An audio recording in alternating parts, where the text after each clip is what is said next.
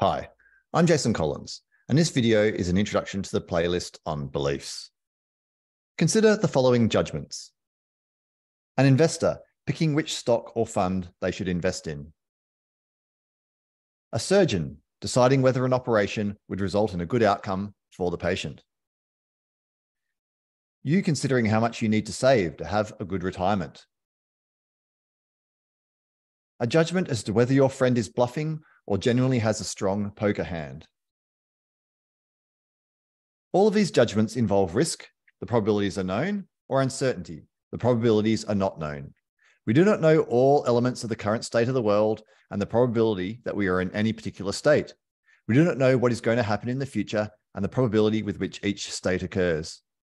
To analyze decision making under risk and uncertainty, we need to consider how people form beliefs and how they compute probabilities in any decision. I'll do this by first examining the foundations of probability theory. I'll then discuss several heuristics that are proposed to be used in probability judgment.